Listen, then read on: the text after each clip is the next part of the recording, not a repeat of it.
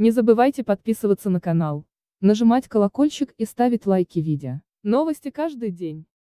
Привет, друзья! Сегодня у нас трагические новости. Известный украинский шахматист Станислав Богданович и его девушка, 18-летняя украинская шахматистка Александра Вернигора, найдены мертвыми в Москве, сообщает телеграм-канал 112. 18-летняя Вернигора была профессиональной шахматисткой и состояла в рейтинге ФИДЕ 1861 место. Богданович был международным мастером по шахматам, становился чемпионом Украины по быстрым шахматам в 2013 году. Тела обнаружил отец девушки, когда пришел домой домой. По предварительным данным, причиной смерти пары стал веселящий газ. Рядом с телами найдены воздушные шарики, которые были наполнены закисью азота. Скорую вызвали дважды, но когда карета приехала, было уже поздно, сказано в сообщении. Позже стало известно, что погибших в Москве украинских шахматистов, которые умерли от веселящего газа, нашли с пакетами на головах. Друзья и коллеги пары уже высказались по поводу этой трагедии, написав посты в сети. В Москве погиб молодой украинский гроссмейстер Станислав Богданович вместе со своей девушкой. Причина Причина – веселящий газ. Заставляет задуматься о том, насколько хрупка человеческая жизнь. Богданович ушел совсем молодым, как раз вписавшись в клуб 27.